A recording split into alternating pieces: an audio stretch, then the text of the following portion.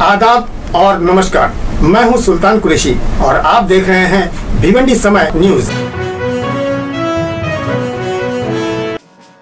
आदाब और नमस्कार, मैं हूँ सुल्तान कुरैशी और आप देख रहे हैं भिवंडी समय न्यूज़। इस वक्त की आपको भिवंडी की खबर बताने जा रहे हैं।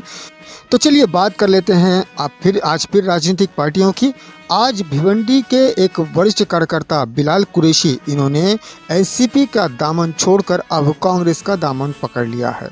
आइए जानते हैं इस प्रोग्राम में कि उन्होंने एनसीपी का दामन छोड़कर कांग्रेस का दामन को क्यों अपनाया है। हालाँकि हाल ही में ये एनसीपी में शामिल हुए थे, लेकिन शायद एनसीपी पार्टी की जो सोच है, जो उनका विचारधारा है, वो शायद इनकी समझ में नहीं आया। इसलिए इन्होंने कांग्रेस पार्टी का दामन थाम लिया है। आज रानी अग्रवाल जी ने इन्हें सम्मान पत्र नियुक्ति पत्र और गुलपोशी के कर, करके इन्हें पार्टी में शामिल कर लिया है। उन्होंने बताया है कि पार्टी का काम जिस तरीके से चल रहा है, इसलिए लोग पार्टी में शामिल हो रहे हैं। इस मौके पर हमने बिलाल कुरैशी से भी बात करी और उन्होंने भी कहा कि मैंने पार्टी को देखा है कि कांग्रेस पार्टी भिवंडी शहर में बहुत अच्छे काम कर रही है और पार्टी ये ऐसी पार्टी है जिसमें रहकर मैं विकास के काम को कर सकता हूँ, इनकी विचारधारा और मेरे विचारधारा, मेरी विचारधारा में कोई फ़र्क नहीं है।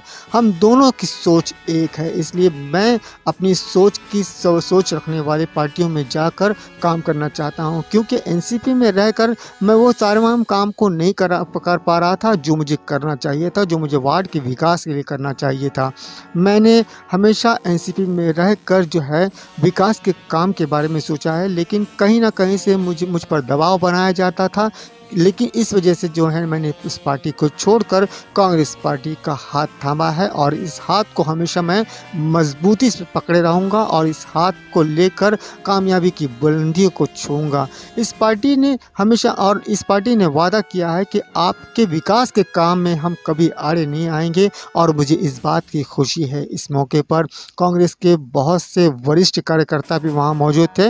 आप तस्वीरें में तमाम वरिष्ठ कार्यकर्ताओं को देख सकते हैं। ये जो हम हम आपको तस्वीर बता रहे हैं, ये रानी अग्रवाल जी के बंगले की है, जहाँ पर इस भव्य प्रोग्राम को किया गया है। और आप देख सकते हैं, यहाँ पर महिला अध्यक्ष भी मौजूद है, प्रवक्ता भी मौजूद है, डॉक्टर साहब भी मौजूद है, पुराने कार्यकर्ता भी मौजूद है। आप सभी की तस्वीरें साफ़ तौर पर देख सकते हैं। तो आज से जो है बिलाल कुरेशी कांग्रेस के हो लिए है और युवा कांग्रेस के बैनर तले अपने तमाम विकास के कार्यों को करेंगे और उन्होंने वादा किया है कि मैं अपने साथ पूरी टीम को इस पार्टी में शामिल करूँगा। आने वाले दिनों में ये एक बड़ा प्रोग्राम भी करके प्रेस प्रेस कॉन्फ्रेंस करके लोगों तक अपनी बातों को पहुंचाएँगे। तो आप देख रहे थे भिवंडी समय न्यूज़। इसी तरह से भिवंडी समय न्यूज़ के साथ में जुड़े रहें। हम देते रहेंगे हर रोज़ की अपडेट।